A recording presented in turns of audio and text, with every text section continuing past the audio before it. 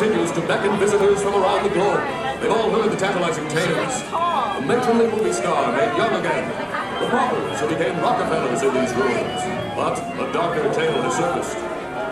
Many visitors are claiming loved ones have disappeared inside. Could it be they looked into the eyes of the idol?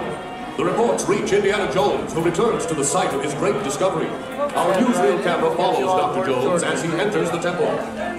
One week later, and still no Indiana Jones.